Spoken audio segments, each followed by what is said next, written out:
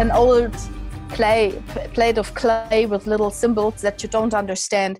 But in the middle of this thing was a little symbol with um, an eight a flower with eight petals. And this was really emerging a ray of light. I felt this unconditional divine love for the first time. Mm-hmm. and my heart opened